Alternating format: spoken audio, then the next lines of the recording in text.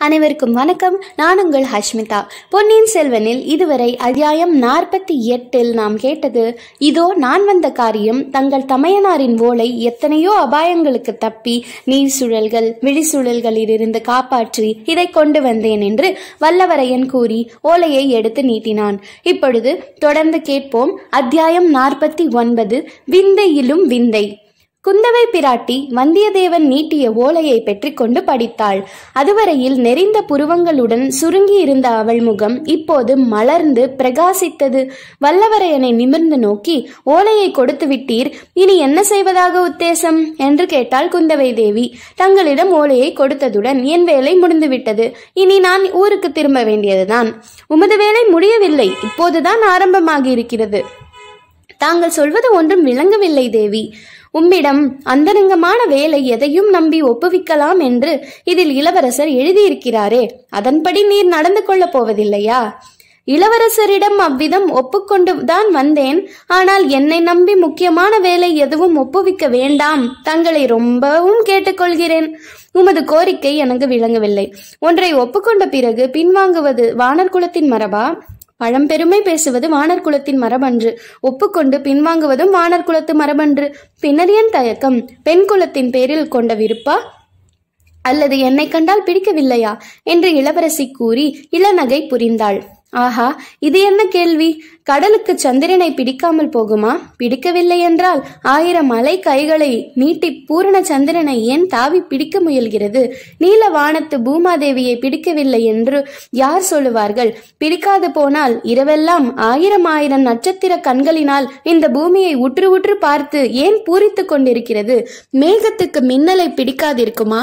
பிடிக்கவில்லை என்றால் தன்னை பிளந்து கொண்டு பாய்ந்தோடும் மின்னலை அப்படி ஏன் இருகத் தழுவி மார்போடு அணைத்துக் கொள்கிறது? வண்டுக்கு மலர் பிடிப்பதில்லை என்பது உண்டா? அங்னனமானால் ஏன் ஓயாமல் மலரை சுற்றி வட்டமிட்டு மதிமயங்கி விடுகிறது? விட்டல் பூச்சிக்கு விளக்கை பிடிக்கவில்லை என்றால் யாரேனும் நம்புவார்களா? அவ்வாறெனில் ஏன் அந்த விளக்கின் ஒளியை விழுந்து உயிரை விடுகிறது? தேவி நல்ல கேள்வி கேட்டீர். தங்களை எனக்கு பிடிக்கவில்லை என்றால் தங்களது கடைக்கண் பார்வை என்னை ஏன் இப்படி திகைக்க வைக்கிறது? தங்களது இதழ்களின் ஓரத்தில் விளையாடும் இளநகை என்னை ஏன் இவ்விதம் சித்தப்பிரமை கொள்ளச் செய்கிறது? இவ்வளவு எண்ணங்களும் வந்தியத்தேவனுடைய உள்ளத்தில் தோன்றின. ஆனால் நாவினால் சொல்லக்கூடவில்லை. ஐயா என்னுடைய கேள்விக்கு மறுமொழி சொல்லவில்லையே. வானர் குலத்தில் பிறந்த வீரபுருஷன் கேவலம் ஒரு பெண் பெண்ணின் ஏவலை செய்வதா என்று தயக்கமா? இளவரசர் உங்களிடம் இந்த ஓலையை கொடுத்தபோது இதில் எழுதியிருப்பதை பற்றி சொல்லவில்லையா? என்று இளவரசி மீண்டும் வினவினாள். தேவி இளவரசர் விருப்பத்தை நன்கு தெரிந்து கொண்டுதான் புறப்பட்டு வந்தேன். ஆனால் நல்ல வேளையில் என் யாத்திரையை தொடங்கவில்லை என்று தோன்றுகிறது. ஆகையால் வழியெல்லாம் விரோதிகளை சம்பாதித்துக் கொண்டு வந்தேன். உற்ற நண்பனையும் பகைவனாக்கி கொண்டேன். நாலாபுரத்திலும் பகைவர்கள் என்னை தேடிக் கொண்டிருக்கிறார்கள். இந்த நிலையில் தாங்களிடும் பணியை நான் நிறைவேற்றுவதாக எப்படி உறுதி சொல்ல முடியும்? இதனால் தான் தயங்குகிறேன். என்னால் தங்கள் காரியம் கெட்டுப்போக கூடாதல்லவா என்று சொன்னான் வல்லவரையன்.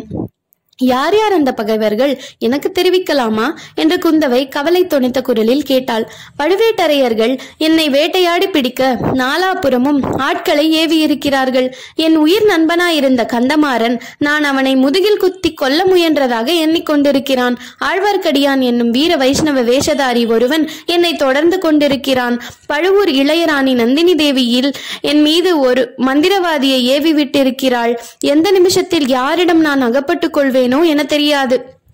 வெள்ளத்தில் இருந்து கரையேறி தப்பிய? அன்று இரவு மந்திரவாதியுடன் நேர்ந்த அனுபவம் வந்தியத்தேவனுக்கு நினைவு வந்தது. பகலில் பிரயாணம் செய்வதின் அபாயத்தை எண்ணி மூங்கில் காடுகளிலும் வாழை தோப்புகளிலும் அவன் பொழுதுபோக்கினான். இரவில் நதிக்கரையோடு நடந்து சென்றான். வெகு தூரம் நடந்து களைத்து இரவு மூன்றாம் ஜாமத்தில் ஒரு பாழடைந்த பழைய மண்டபத்தை அடைந்தான். வெளியில் நிலா மதியம் பட்டப்பகல் போல பிரகாசித்துக் கொண்டிருந்தது. மண்டபத்துக்குள்ளேயும் சிறிது தூரம் நிலா வெளிச்சம் புகுந்து பிரகாசிப்பது தெரிந்தது. வெளிச்சமாய் இருந்த பகுதியை கடந்து இருளடைந்த பகுதிக்கு சென்று வந்தியத்தேவன் படுத்துக்கொண்டான் கண்ணை சுற்றி கொண்டு தூக்கம் வந்த சமயத்தில் வெகு சமீபத்தில் இருந்து ஆந்தையின் அகோரமான குரல் கேட்டது. பழுவூர் இளையராணியுடன் லதா மண்டபத்தில் பேசிக் கொண்டிருந்த போது அதே மாதிரி ஆந்தை குரல் கேட்டது. அவனுக்கு நினைவு வந்து திடுக்கிட்டு எழுந்தான். உள்ளே இருட்டின பகுதியிலிருந்து ஒரு சிறிய ஒளி பொட்டுகள் அவனை உற்று நோக்கின. வெளியில் போய்விடலாம் என்று எண்ணி இரண்டு அடி நடந்தான். வெளியில் இருந்து யாரோ உள்ளே வரும் காலடி சத்தம் கேட்டது. இடிந்து விழுந்து கரடு முரடாய் இருந்த தூண் ஒன்றை பிடித்துக்கொண்டு அதன் மறைவில் நின்றான். வெளியில் இருந்து வந்தவன் முகம் நிலா வெளிச்சத்தில் கொஞ்சம் தெரிந்தது. பழுவூர் ராணியை பார்க்க வந்த மந்திரவாதி தான் அவன் என்பதை தெரிந்து கொண்டான். மந்திரவாதி அந்த தூணை நோக்கியே வந்தான். தான் அவ்விடம் மறைந்திருப்பது அவனுக்கு தெரியாது என்றும் தன்னை கவனியாமல் மண்டபத்துக்குள்ளே போய்விடுவான் என்றும் வந்தியத்தேவன் நினைத்தான். ஆனால் தூணின் அருகில் வரும் வரையில் மெல்ல மெல்ல பூனை போல நடந்து வந்த மந்திரவாதி திடீரென்று கோரமான குரலில் ஒரு கூச்சல் போட்டுக்கொண்டு வந்தியத்தேவனுடைய கழுத்தை கையினால் பிடித்து நெரித்தான். எடு அந்த பனை லட்சண மோதிரத்தை கொடு. கொடுக்காவிட்டால் உன் கழுத்தை நெரித்து கொன்று விடுவேன் என்று கத்தினான். வந்தியத்தேவனுடைய கழுத்தை முறித்து விடும் போல் இருந்தது அவனுடைய விழிகள். அவனுடைய விழிகள் பிதுங்கி வெளிவந்து விடும் போலிருந்தன. மூச்சு திணறியது. எனினும் மனத்தை திடப்படுத்திக் கொண்டான். அந்த பழைய தூணை ஒரு கையினால் அழுத்திக் கொண்டு ஒரு காலை தூக்கி பூரண பலத்தையும் பிரயோகித்து ஓர் உதை விட்டான். மந்திரவாதி ஓலமிட்டு கொண்டு கீழே விழுந்தான். அதே சமயத்தில் அந்த பழைய தூண் சரிந்து விழுந்தது. மேலே கூரையிலிருந்து பொலபலவென்று கற்கள் விழுந்தன.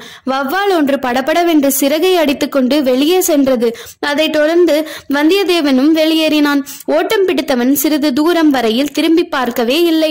பின்னால் யாரும் தொடர்ந்து வரவில்லை என்று நிச்சயமான பிறகுதான் நின்றான். அந்த இரவு அனுபவத்தை நினைத்தும் வந்தியத்தேவனுடைய உடம்பெல்லாம் இப்போது கூட கிடுகிடுவென்று நடுங்கியது. அந்த பயங்கர நினைவுகளிடையில் ஐயா காஞ்சியிலிருந்து தாங்கள் புறப்பட்டு எத்தனை காலமாயிற்று? என்று குந்தவை கேட்டது அவனுடைய காதில் விழுந்து அவனுக்கு மனத்தெளிவை அளித்தது. ஒரு வாரமும் ஒரு நாளும் ஆயிற்று தேவி என்றான். இதற்குள் இவ்வளவு பகைவர்களை நீர் சம்பாதித்துக் கொண்டது விந்தையிலும் விந்தைதான். இவ்வளவு அதிசயமான காரியத்தை எப்படி சாதித்தீர்? அது பெரிய கதை தேவி. இருந்தால் பாதகமில்லை சொல்லலாம். அந்த விவரங்களை தெரிந்து கொண்ட பிறகுதான் தங்களுக்கு நான் இட வேண்டிய பணியை இடக்கூடும். இவ்வாறு இளவரசி கூறிவிட்டு ஈசான சிவப்பட்டரை அருகில் அழைத்து படகோட்டி எப்படிப்பட்டவன்? என்று கேட்டாள். இரண்டு காதும் நல்ல செவிடு. இடியடித்தாலும் கேளாது தாயே. ரொம்ப நல்லது. படகில் ஏறி கொஞ்ச தூரம் ஓடையில் போய்விட்டு வரலாம் வாருங்கள். இவருடைய கதையை முழுதும் நான் கேட்க வேண்டும் என்றாள். வல்லவரையன் புலகாங்கிதம் அடைந்தான் சோழர் குல திருமகளோடு ஒரே படகில் செல்லும் பாக்கியம் எளிதில் கிட்டுவதா? அதை பொறுத்து பெறுவதற்கு ஏழு ஜன்மங்களில் தான் தவம் செய்திருக்க வேண்டுமா? வேண்டாமா? படகில் ஏறிய பிறகு எவ்வளவு தூரம் முடியுமோ அவ்வளவு தூரம் கதையை நீட்டி வளர்த்தி சொல்ல வேண்டும். சுருக்கமாக முடித்துவிடக்கூடாது அவசரம் என்ன? அரிதில் பெற்ற பாக்கியத்தை எளிதில் கை நழுவ விட்டு விடலாமா? வந்தியத்தேவனுக்கு அவசரம் இல்லைதான் ஆனால் படகு ஓடையில் நகர்ந்து அவன் கடம்பூர் சம்புவரையர் மாளிகையில் நடந்ததை சொல்லத் தொடங்கியது முதலாவது. குந்தவைக்கு நிமிஷத்துக்கு நிமிஷம் அவசரமும் பரபரப்பும் அதிகமாகி வந்தன. மேலே என்ன அப்புறம் என்ன என்று கேட்டு துரிதப்படுத்தி வந்தாள். வந்தியத்தேவன் அவனுடைய தீர்மானத்தின்படி கூடிய விரைவில் கதையை வள வளர்த்தினான். எவ்வளவு நீண்ட கதையாயினும் முடிவு ஒன்று வந்துதானே ஆக வேண்டும். கதை முடிந்தபோது படகும் திரும்ப ஓடை படத்துறை படித்துறைக்கு வந்து சேர்ந்தது. படகிலிருந்து அவர்கள் இறங்கி பூங்காவுக்கு வந்தபோது அரண்மனையில் இன்னும் குறவை கூத்து நடந்து வந்ததற்கு அறிகுறியாக இசைக்கருவிகளும் தண்டை சிலம்புகளும் ஒலித்தன. பின்வரும் சிலப்பதிகார வரிப்பாடலும் கேட்டது. பெரியவனை மாயவனை பேருலகமெல்லாம் விரிகமலை விந்தியுடன் விண்ணவனைக் கண்ணும் திருவடியும் கையும் திருவாயும் செய்ய கரியவனைக் காணாத கண்ணெனக் கண்ணே கண்ணை மைத்து காண்பார் தன் கண்ணெனக் கண்ணே மடந்தாழு நெஞ்சாத்து கஞ்சனார் வஞ்சம் கடந்தானை நாற்றுவார் போல் நாற்றிசையும் போற்ற படர்ந்தாரண முழங்க பஞ்சவர்க்க தூது நடந்தானை எத்தாத நாவென்ன நாவே நாராயணன்னே நாவென்ன நாவே. இதை கேட்ட வல்லவரையன் கஞ்சனார் மிக்க வஞ்சனாயிருக்கலாம் ஆனால் எனக்கு நேற்று பேருதவி செய்தார் என்றான். அது என்ன? கம்சன் உமக்கு என்ன உதவி செய்திருக்க முடியும்? என்று இளைய பிராட்டி கேட்டாள். நான் இந்த நகரத்துக்குள் புகுவதற்கு கம்சன் தான் உதவி செய்தான் என்றான் வந்தியத்தேவன். பிறகு அந்த உதவியின் வரலாற்றையும் கூறினான். பழையாறைக்கு தான் வந்து சேர்வதற்குள்ளாகவே பழுவேட்டரையரின் ஆட்கள் வந்திருப்ப வந்திருப்பார்கள் என்று வந்தியத்தேவன் ஊகித்திருந்தான். நகரத்தின் நுழைவாசல்கள் தோறும் அவர்கள் காத்திருப்பார்கள். சந்தேகம் ஏதேனும் தோன்றினால் பிடித்து கொண்டு போய் விடுவார்கள். அவர்களிடம் சிக்காமல் பழையாறை நகருக்குள் பிரவேசிப்பது எப்படி? இந்த கவலையுடன் அந்த மாநகரின் பிரதான வாசலுக்கு சற்று தூரத்தில் அரசியலாற்றங்கரையின் வந்தியத்தேவன் நின்றிருந்த போது நாடக கோஷ்டி ஒன்று வந்தது. கண்ணன் பலதேவன் கம்சன் முதலிய வேஷதாரர்கள் வந்தார் வந்தார்கள் அவர்களில் கம்சன் மட்டும் மரத்தினால் ஆன முகத்தை தரித்திருந்தான். வந்தியத்தேவனுக்கு ஒரு யோசனை தோன்றியது. நாடக கோஷ்டியுடன் பேச்சு கொடுத்தான். கம்சன் வேஷம் போட்டவனுக்கு ஆட்டத்திறமை அவ்வளவு போதாது என்றான். கம்ச வேஷக்காரன் இவனுடன் சண்டைக்கு வந்தான். வந்த சண்டையை இலகுவில் வெல்லவரையன் விடுவானா? உன்னை விட நான் நன்றாக ஆடுவேன் பார்க்கிறாயா என்று சொல்லி முகமூடியை பலவந்தமாக புடுங்கி வைத்துக்கொண்டு ஆடினான். அச்சமயம் அவனுடைய ஆரவார தடபுடலை பார்த்தவர்கள் அவனை மெச்சினார்கள். அவன் ஆடியது தான் அதிக பொருத்தமாய் இருந்தது என்று சொன்னார்கள். கம்ச வேஷக்காரன் கோபித்துக் கொண்டு போய் விட்டான் அவன் போனால் போகட்டும். நானே உங்களுடன் நகரத்துக்குள் வந்து ஆடுகிறேன் என்று வந்தியத்தேவன் ஒப்புக்கொண்டான். நாடக கோஷ்டியார் மகிழ்ச்சியுடன் அவனை தங்களுடன் சேர்த்து கொண்டு சென்றார்கள். பழையாறை வீதிகளில் ஆட்டம் பாட்டமெல்லாம் முடிந்த பிறகு வந்தியத்தேவன் ஆதித்த கரிகாலர் சொல்லி அனுப்பியபடி வடமேற்றலி ஆலயத்துக்கு சென்று ஈசான பட்டரை சந்தித்து பேசினான். அவர் அவனை கோயிலை சுற்றியிருந்த சமணர் மொழியில் இருக்கச் செய்து இளவரசி குந்தவை பிராட்டியுடன் முன்னால் தெரிவித்துவிட்டு ஓடை வழியாக அழைத்து வந்தார். இந்த விவரங்களை கேட்ட இளவரசி வந்தியத்தேவனை வியப்பினால் மலர்ந்த கண்களை கொண்டு பார்த்து வெற்றி தெய்வமாகிய கொற்றவனையின் கருணை இந்த சோழர் குலத்து பரிபூர்ணமாக இருக்கிறது. ஆகையினால் தானே இந்த சங்கடமான நிலையிலும் கூட தங்களை எனக்கு உதவியாக தேவி அனுப்பி வைத்திருக்கிறாள் என்றாள். அரசி இன்னும் தாங்கள் எந்தவித பணியும் எனக்கு இடவில்லையே. என் பூரண ஆற்றலை காட்டக்கூடிய சமயம் இன்னும் கிட்டவில்லையே என்றான் வல்லவரையன். அதை பற்றி கவலை வேண்டாம். இதுகாரும் தமக்கு நேர்ந்திருக்கும் அபாயங்கள் எல்லாம் ஒன்றுமில்லை என்று சொல்லக்கூடிய அளவு அபாயம் நிறைந்த வேலையை தரப்போகிறேன் என்றாள். வந்தியத்தேவன் உள்ளம் பொங்கி உடல் பூரித்து நின்றான். அந்த பெண்ணரசி இடும் பணியை நிறைவேற்றுவதற்காக ஏழு கடல்களை கடந்து செல்லவும் ஆயிரம் சிங்கங்களுடன் ஆயுதமின்றி போர் செய்யவும் மேரு பர்வதத்தின் உச்சியில் ஏறி விண்மீன்களை கையினால் பறித்து எடுத்து கொண்டு வரவும் அவன் சித்தமானான். அரண்மனை நந்தவனத்தின் மத்தியில் பழுங்கினாலான வசந்த மண்டபம் ஒன்று இருந்தது. அதை நோக்கி குந்தவை நடந்தாள். பட்டரும் வந்தியத்தேவனும் இளவரசியை தொடர்ந்து சென்றார்கள்.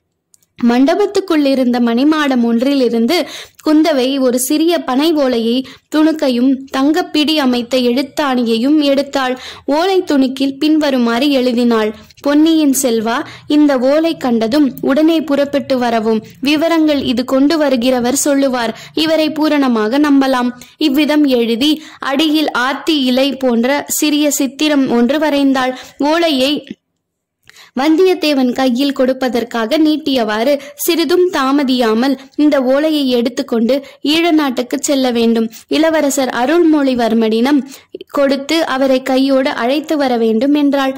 வந்தியத்தேவன் ஆனந்தத்தின் அலைகளினால் மோதப்பட்டு தத்தளித்தான். நெடுநாளாக அவள் கொண்டிருந்த மனோரந்தங்கள் இரண்டில் ஒன்று நிறைவேறிவிட்டது. சோழர் குல விளக்கான இளைய பிராட்டியை சந்தித்தாகிவிட்டது. அவர் மூலமாகவே இரண்டாவது மனோரதமும் நிறைவேறப் போகிறது. இளவரசர் அருண்மொழிவர்மர் சந்திக்கும் போது பேர் கிடைக்கப் போகிறது. தேவி என் மனத்துக்கு தகுந்த பணியையே தருகிறீர்கள். ஓலையை எடுத்துக்கொண்டு இப்போதே புறப்படுகிறேன் என்று சொல்லி ஓலையை பெற்றுக்கொள்வதற்காக வழக்கரத்தை நீட்டினான். குந்தவை ஓலையை அவனிடம் கொடுத்தபோது காந்தல் மலரையொத்த அவளுடைய விரல்கள் வந்தியத்தேவனுடைய அதிர்ஷ்ட கையை தொட்டன. அவனுடைய மெய் சிலிர்த்தது நெஞ்சு வெடித்துவிடும் போல் இருந்தது ஆயிரம் பதினாயிரம் பட்டுப்பூச்சிகள் அவன் முன்னால் இறகுகளை அடித்துக்கொண்டு பறந்தன. ஆயிரம் பதினாயிரம் குயில்கள் ஒன்று ஒன்று சேர்ந்து இன்னிசை பாடின மலைமலையான வண்ணமலர் குவியல்கள் அவன் மீது விழுந்து நாலா பக்கமும் சிதறின. இந்த நிலையில் வந்தியத்தேவன் தலை நிமிர்ந்து குந்தவை தேவியை பார்த்தான். என்னவெல்லாமோ சொல்ல வேணும் என்று அவனுடைய உள்ளம் பொங்கியது. ஆனால் அதை சொல்லும் சக்தி உயிரற்று வெறும் வார்த்தைகளுக்கு ஏது? சொல்ல வேண்டியதெல்லாம் அவனுடைய கண்களே சொல்லின. அச்சமயம் வந்தியத்தேவனுடைய கண்கள் புனைந்துரைந்த கவிதைகளுக்கின இணையான காதற் கவிதையாக காளிதாசனும் புனைந்ததில்லை. முத்தொள்ளாயிரம் இயற்றிய பழந்தமிழ் கவிஞர்களும் இயற்றியதில்லை என்றால் வேறு என்ன சொல்ல வேண்டும்? வசந்த மண்டபத்துக்கு வெளியில் எங்கேயோ சற்று தூரத்தில் காய்ந்த இலைச்சருகுகள் சலசலவென்று சப்தித்தன. ஈசான சிவப்பட்டர் தம் குரலை கனைத்து கொண்டார். வந்தியத்தேவன் இந்த உலகத்துக்கு வந்து சேர்ந்தான். தொடர்ந்து கேளுங்கள். நன்றி வணக்கம்.